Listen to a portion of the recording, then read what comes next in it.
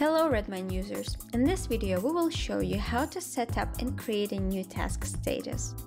You can set a task status in the administration. So, if you look here, you can see all the statuses that you already have. You can create a new status, edit and delete existing ones. You can also rename them and you can set whether this status will close a task or not. Also, if you have set a color scheme, you can choose the colors in which this status will be. Color schemes can be found in settings of administration over here. You can use color schemes for several things. As you can see here, task priority, status, or tracker. In this case, we will choose statuses.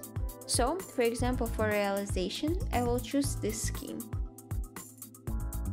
Then the task name will be in these colors.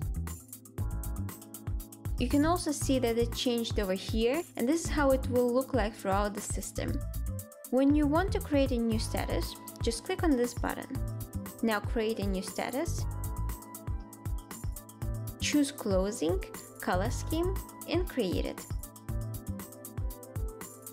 Now the status will appear within all the tasks. That's it.